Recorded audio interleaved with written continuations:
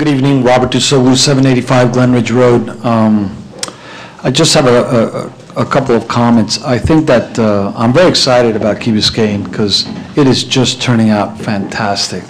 Uh, And and it's very exciting for me to see all the the changes and the improvements and the things that are happening. Um, I- I've listened to both sides, and they're both absolutely brilliant, and and they both have very valid points. I think where the council should uh, take a a very uh, strong look is the fact that uh, regarding community and urban planning, uh, education is is a fact of of quality. Uh, Also is business and safety, the fire department, the police department, it's all important in making a whole community. And I think that if the council has an opportunity to have a say in it, they should. And if they have an opportunity to get involved in it, they should.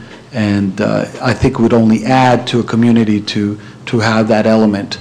Um, And uh, having some control over that, I think would be a good idea. Thank you very much. Thank you, Robert. Was I the shortest? You're pretty close.